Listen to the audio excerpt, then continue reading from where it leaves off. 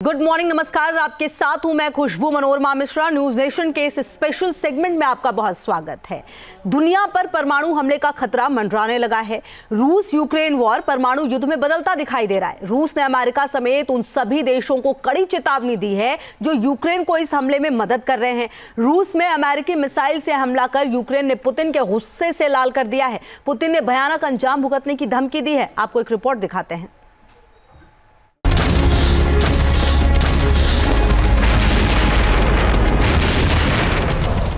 रूसी शहरों पर यूक्रेन का सबसे बड़ा हमला।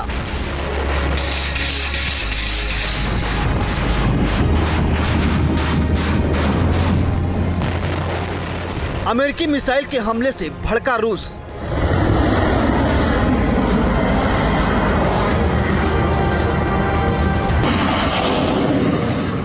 रूस यूक्रेन वॉर को लेकर जिस बात से दुनिया डर रही थी, वो डर सबके सामने आ गया है। रूस यूक्रेन का ये वॉर अब सबसे खतरनाक मोड़ पर पहुँच चुका है। यूक्रेन ने रूस पर हमले की सबसे खतरनाक लाइन को पार कर दिया है। अमेरिकी मिसाइल से रूस के अंदर अटैक कर जेलेंस्की ने उस रेड लाइन को पार कर दिया, जिसको लेकर पुतिन लंबे समय से चेतावनी दे रहे थे। यूक्रेन वॉर को जो बाइडेन ने जाते जाते एक ऐसा मोड़ दे दिया, जिसका खामियाजा दुनिया को परमाणु युद्ध के रूप में चुकाना पड़ सकता है। अमेरिका ने लंबी दूरी की बैलिस्टिक मिसाइल से रूस पर हमले को लेकर यूक्रेन पर बैन लगाया हुआ था। लेकिन जो बाइडेन प्रशासन ने यूक्रेन को अमेरिकी मिसाइल के इस्तेमाल की परमिशन दे दी, जिसके तुरंत बाद यूक्रेन ने रूस पर ताबड़तोड़ छह बैलिस्टिक मिसाइल से धावा बोल दिया। रूस पर अमेरिकी मिसाइल एटीएस से हमले का मतलब है। रूस डब्ल्यूएमडी यानी वेपन ऑफ़ मास डिस्ट्रक्शन से इसका जवाब दे सकता है, जिसका मतलब है परमाणु हमला।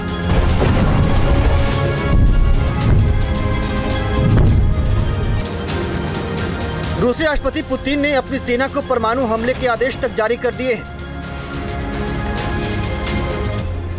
बताया जा रहा है कि अमेरिकी मिसाइल के हमले के तुरंत बाद रूसी राष्ट्रपति ने परमाणु हमले के नियमों में बदलाव पर हस्ताक्षर कर दिया। जिसमें साफ़ साफ़ कहा गया है कि रूस पर अगर कोई भी देश, चाहे वो परमाणु शक्ति संपन्न हो या परमाणु शक्ति संपन्न किसी तीसरे देश की मदद से उस पर मिसाइल हमला करता है या लंबी दूरी तक मार करने वाले ड्रोन से हमला करता है तो रूस अपने परमाणु हथियारों का इस्तेमाल कर सकता है We are convinced that the nuclear weapon is first and foremost a weapon uh, to constrain any, uh, prevent, to prevent any any nuclear war. Ukraine ने रूस के ब्रियंसक में सैन्य ठिकानों को निशाना बनाने का दावा किया है हालाँकि रूस के रक्षा मंत्रालय ने पाँच आर्मी टैक्टिकल मिसाइल सिस्टम यानी एटीएस को मार गिराने और छठे के सिस्टम को नष्ट करने का दावा किया है। रूसी रक्षा मंत्रालय के मुताबिक, यूक्रेन की एटीएस मिसाइल हमले को नष्ट करने के दौरान मलबा एक मिलिट्री फैसिलिटी में गिरा, जिस कारण वहाँ आग लग गई, लेकिन रूस को कोई नुकसान नहीं हुआ है। यूक्रेन ने यह हमला इस युद्ध के एक हजारवें दिन पर किया था। रूसी हमले के एक हज़ार दिन पूरे होने के मौके पर मंगलवार को अपनी संसद को संबोधित करते हुए जेलेंस्की ने दावा किया कि आने वाला साल रूस यूक्रेन की जंग का निर्णायक साल होगा। ये तय हो जाएगा कि इस जंग का विजेता कौन है। ये पूरे विश्व में सर्वनाश पैदा करेगा। एक म्यूचुअली एश्योर्ड डिस्ट्रक्शन की स्थिति पैदा करेगा, क्योंकि न्यूक्लियर वॉर की जो स्थिति होगी, उसमें एक सर्वनाशी स्थिति पैदा होगी। महाशक्तियाँ एक दूसरे के ऊपर न्यूक्लियर वेपन्स का इस्तेमाल करके ज़ाहिर है कि वो सब कुछ समाप्त कर डालेंगी।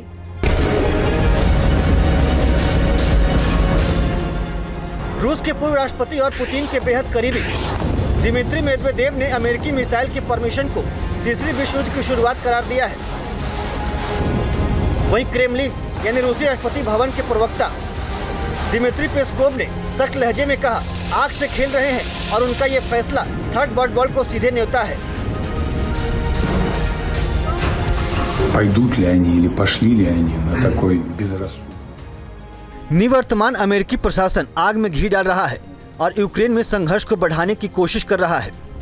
अमेरिका का निर्णय खतरनाक और गंभीर नतीजे वाला है। रूस यूक्रेन संघर्ष में वॉशिंगटन की भागीदारी को बढ़ाता है और वर्ल्ड वॉर को न्योता देता है।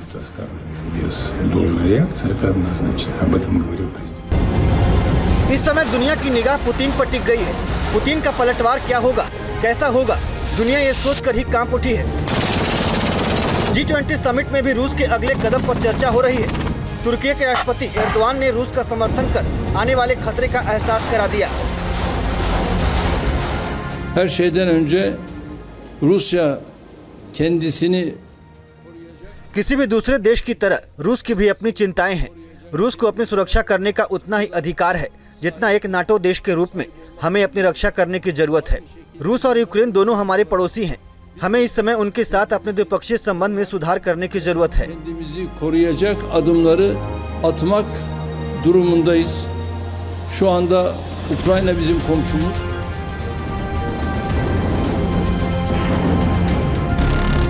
लंबी दूरी तक मार करने वाली मिसाइल एटीएस सीएमएस के इस्तेमाल की इजाज़त देने से अमेरिका ने रूस यूक्रेन वॉर का सीन बदल दिया है रूस ने अपने न्यूक्लियर फैसिलिटी को एक्टिव कर दिया है सूत्रों के मुताबिक रूस ने न्यूक्लियर शेल्टर भी बनाने शुरू कर दिए हैं।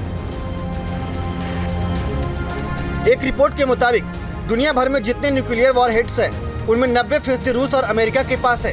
फेडरेशन ऑफ़ अमेरिकन साइंटिस्ट के मुताबिक रूस के वेरीफाइड न्यूक्लियर वॉर हेड्स की संख्या 5,580 है जबकि अमेरिका के पास 5,428 न्यूक्लियर वेपन है। रिपोर्ट में ये दावा किया गया है कि रूस ने 1710 न्यूक्लियर वॉर वॉरहेड्स अलग अलग जगहों पर तैनात कर रखे हैं।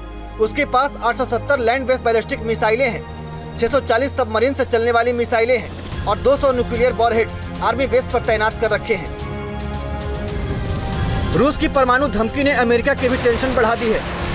हालाँकि अमेरिका का कहना है कि उसे नहीं लगता है कि उसे अपने परमाणु हथियारों की पोजीशन को बदलने की ज़रूरत है।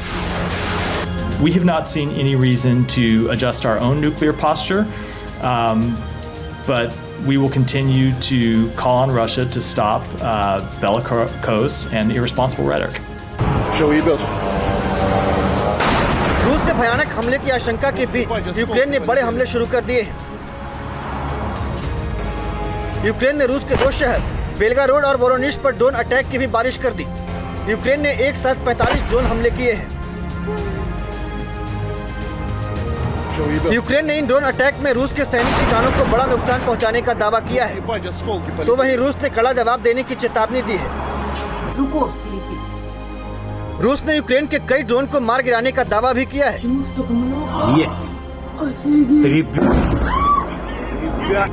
रूस की सेना ने यूक्रेन के ल्यूटी यूएवी को हवा में मार गिराने का वीडियो भी जारी किया है।